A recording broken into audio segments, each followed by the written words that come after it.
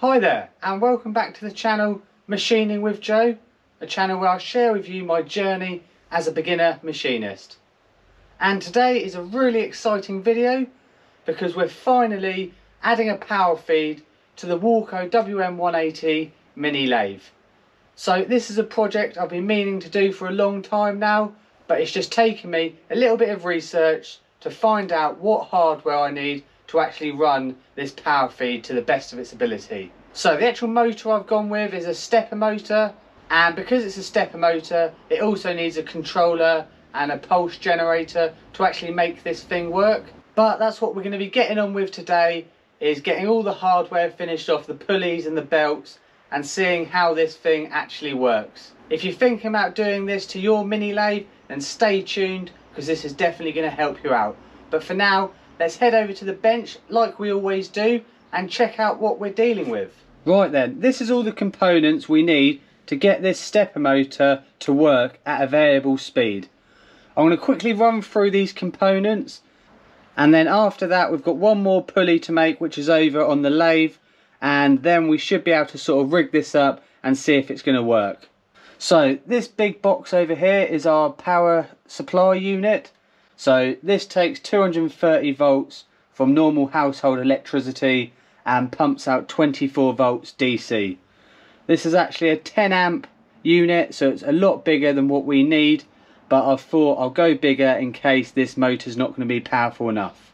So from there that actually comes out one to the pulse width modulating control unit and another one to the stepper control unit.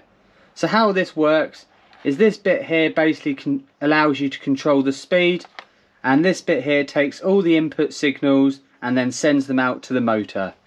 So just to quickly show you how this is going to work, you basically turn the pulse width modulating module on, which automatically sends a signal to the control unit and then to the stepper motor. So this stepper motor we can make it go up and down in speed all the way to a super slow speed or all the way to a fast speed. So I've already made a pulley up for the stepper motor itself and this is going to be connected using a small V-belt onto a pulley which is going to be on our lathe. So that's what we're going to be doing this morning is making up the other pulley and then after that rigging it all up, testing it out and seeing if it works. If you want any more information guys on this setup that I've got here then drop a comment below and it might be a video that I'll do in the future. But for now let's head over to the lathe and start making our pulley. So this piece of aluminium here is what we're going to be making the pulley out of and it's actually an old scrap bit of aluminium I had from previous videos. So there's a few dimensions here that we need to hit. First of all the actual outer part of the pulley that the belt is going to sit on needs to be 48 millimeters and currently this is 51 millimeters of stock so we've not got too much to take off of there. But this is where we're going to have to take off the majority of our material because we need this part here to be 20 millimeters to cover over the thrust washer on the end of the lead screw. And currently this is it's about 37 mil so we've got a lot of material to take off of here so I'm going to start taking that material off now. Once I've got that down to final outer diameter, I'm going to add a few little curves in there using a new radius tool that I bought. And then we'll flip the part and turn down the pulley end and put the groove in it. So I'll come back in a bit when we're a little bit further along with this pulley because this is going to take quite a bit of turning down to get this to where we need it. So I'm bringing you back in now and we're currently at 23 millimeters here.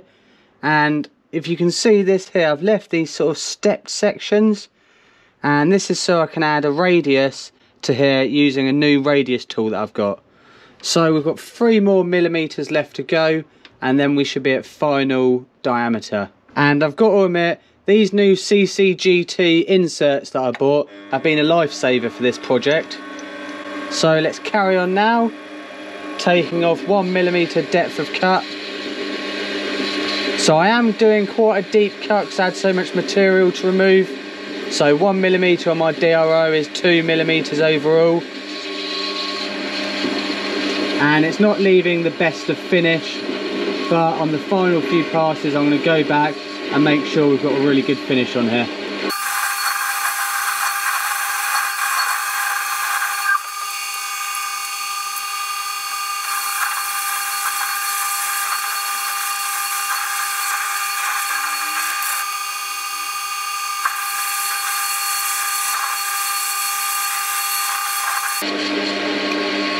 Now we've reduced the depth cut, that finish is coming in a lot better.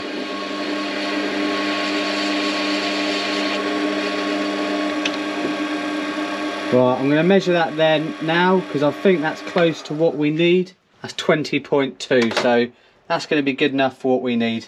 So I need to switch over now to the radius tool and try cutting a nice radius into this step section that we've left. So we've got our radius tool in there now and time to try freehanding this radius.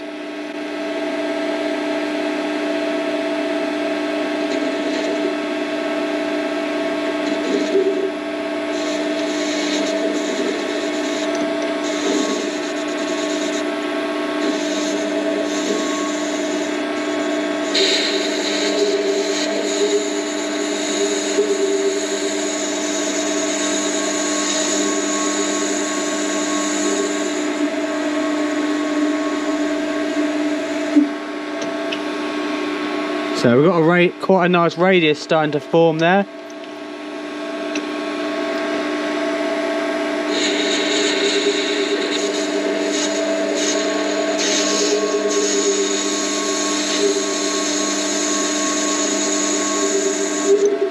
So all I'm doing here is as I'm winding towards the chuck, I'm winding out with the cross slide.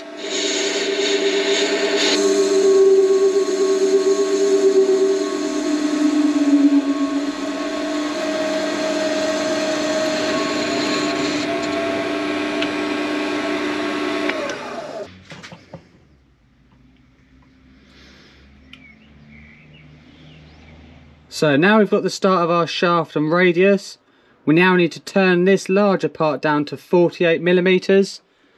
So luckily this is only 51 mil. So I only have to take down three millimeters. So that's not too bad. All right, let's give this a whirl.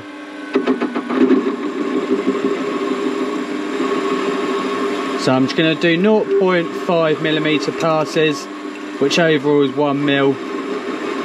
So three of these and we should be at our final outer diameter. This part isn't super accurate either. I just want this pulley to be roughly double the size of our motor pulley. That way we should half the speed and double the torque.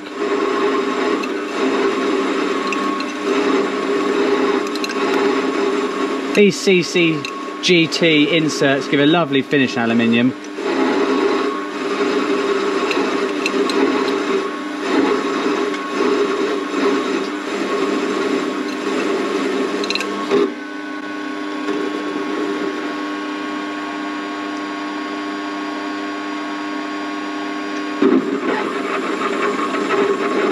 So this should be quite a quick process this one. Shouldn't take too long.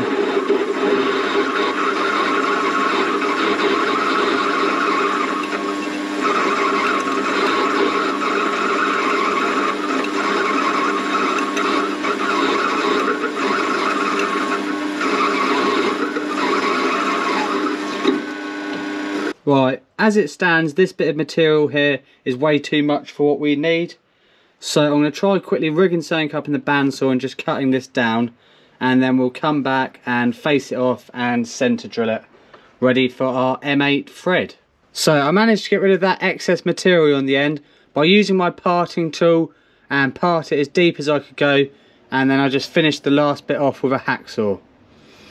So the next thing I need to do now on this pulley is put a V-groove dead centre in here and then once we've got a nice V-groove I can then start to drill it out and tap that to an M8 thread to take the end of the lead screw. So I've already centered it up on the workpiece and locked my carriage. All I need to do now is start plunging into my work.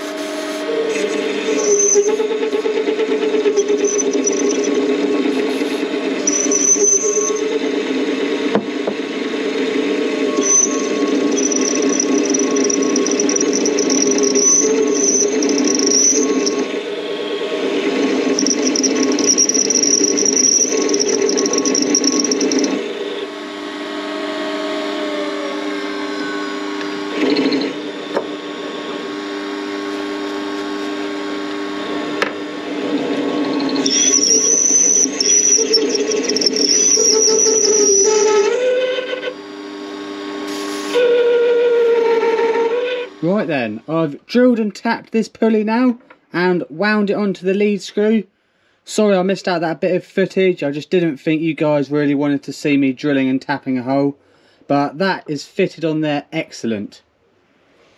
So my plan is to have this V-belt attached to the motor and have the motor sort of down here somewhere driving the lead screw. So I think I'm going to leave that till the next video now guys because there's been quite a bit of machining and explaining in this video and I think it needs a part 2 to this. So if you're super excited to see the finished product then please subscribe to the channel if you haven't already and in the meantime go back and watch some of my previous videos in anticipation for when this is all done. Other than that guys, I'll see you in the next one.